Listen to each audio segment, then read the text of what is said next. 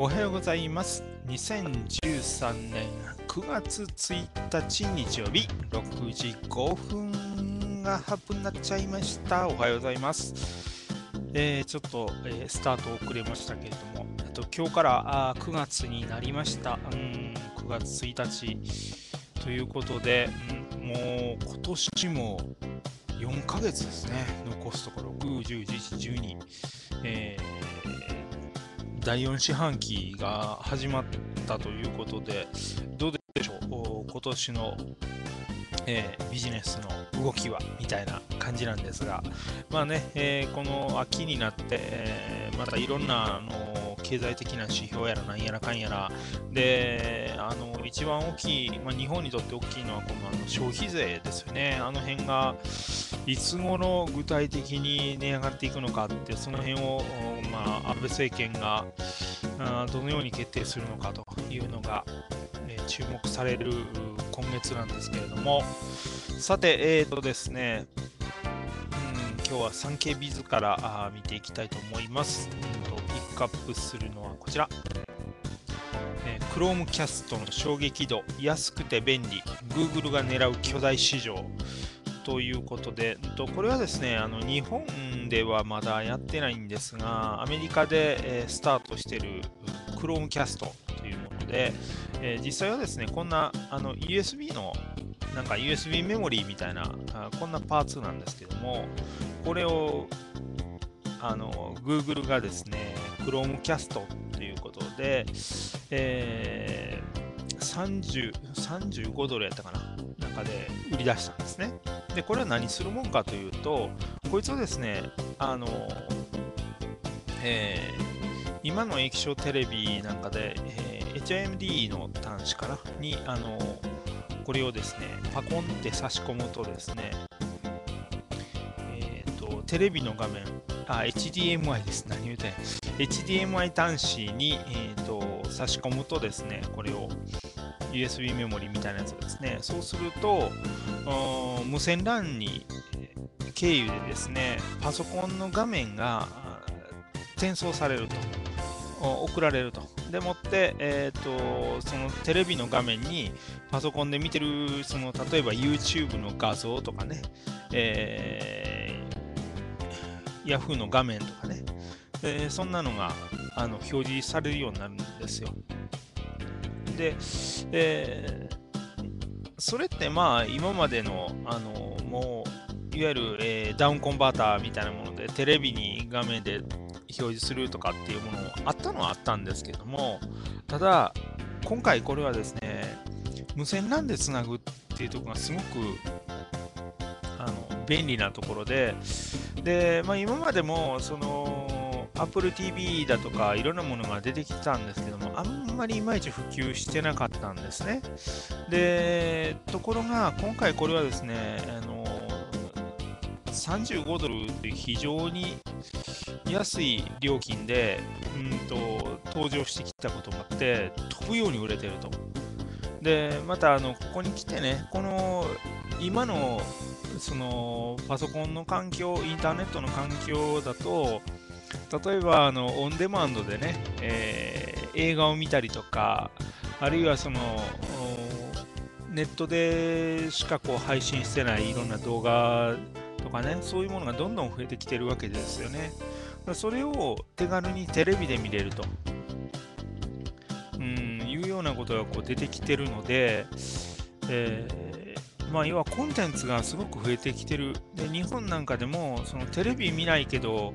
うんニコニコ動画はずっと見てるとか YouTube ずっと見てるっていう人たちもすごく増えてきてるんですよね。スマホとかでその、えー、と見ながら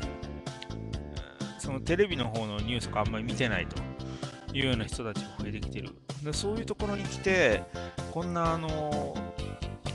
ガジェットが出てくるとですね、ちょっとこのテレビ業業界とがですね、ざわざわしてるんですよね。で、こんなのが広まると、要はあのテレビ広告がすごく苦しくなってくるわけですね。で、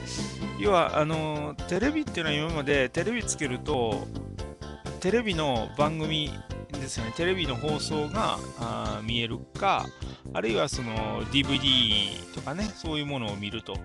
いう、このどっちかしかないわけですよ。で、あとは録画したやつって言っても、基本的にはテレビ放送なんですよね。で、そうすると、そういったその中でスポンサーの役割っていうのが非常に大きかったわけですけれども、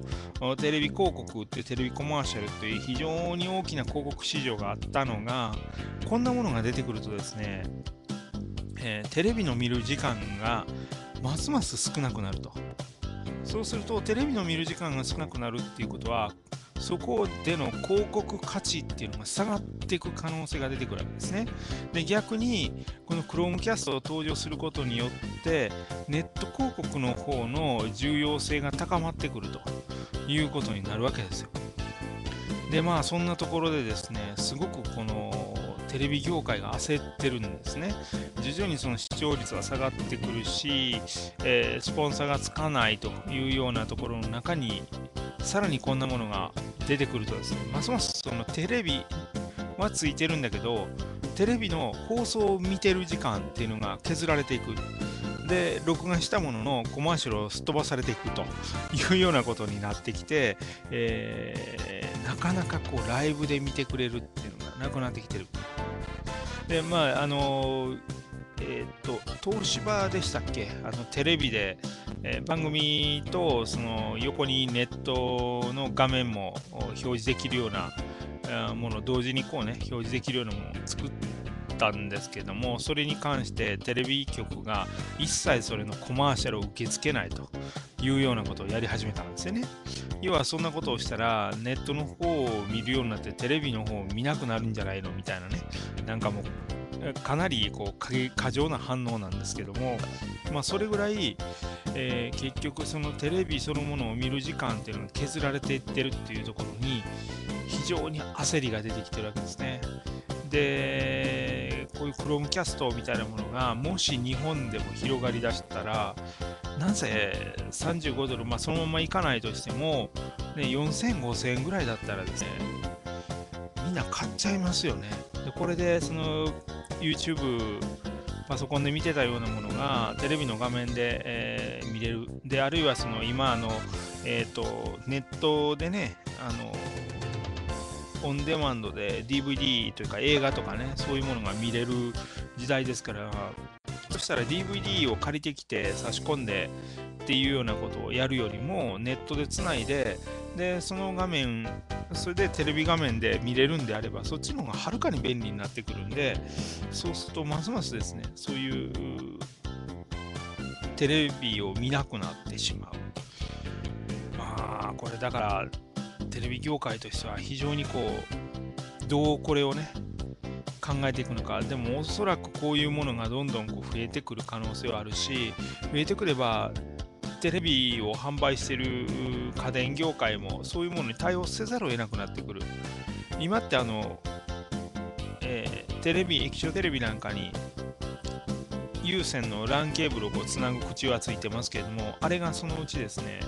えー、無線 LAN のがもう入ってるというのが当たり前のように、あれ無線 LAN を入れてないっていうのが、私結構これミソだなと思ってたりしてるんですけども、多分そういったところもですね、変わってくるんじゃないかなと。うんそうなってくると、本当その、どうやって、えー、テレビ局は対抗していくのか。でそこでこのコマーシャルとかねいろんなサービスがどんどん変化していくのでちょっとそういうところにもですね新たなビジネスのヒントとかいろんなものが隠れてるんじゃないかなというふうに思います。さて、えー、そんなところで6時17分になりました。うんと今日は今日から9月です。でなんかねまだあのー天候が結構荒れるみたいなんで、えー、その辺は気をつけましょう。あの台風というか、あれは熱帯低気圧になったかな。えーとでえー、ただ、電線、秋雨前線がね、もうしっかり日本列島に張り付いてるんで、あちこちあの局所的に雨が降ったりとか、いろんなこと起きますんで、ぜひ気をつけて。ということで、今日も元気にやっていきましょう。ではまた。